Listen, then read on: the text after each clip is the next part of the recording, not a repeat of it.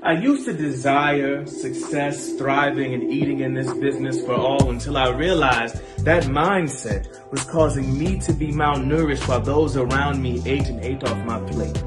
So while y'all claim that Paragon betrayed the Mariani family, remember that long before Paragon quit playing this role y'all forced him into, Emerge and the Mariani family turned their backs on Paragon first. Now Arthur McArthur, baby. Paragon's a fan of the strongest man in the land. You are talented, you are entertaining, you are a dream match for Paragon. But it's not the right time.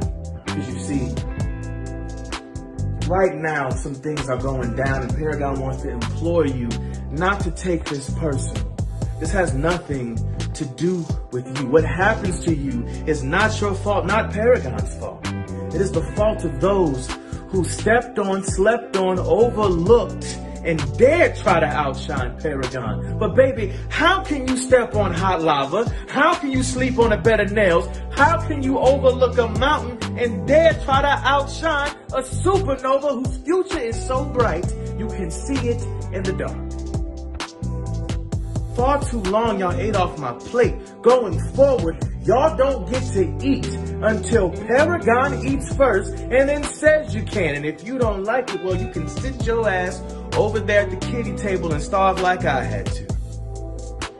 And Arthur, if you have to be the first one to pull up a chair, so be it. Because I will be the only one laughing in the purple rain and you will be the first to feel what it sounds like.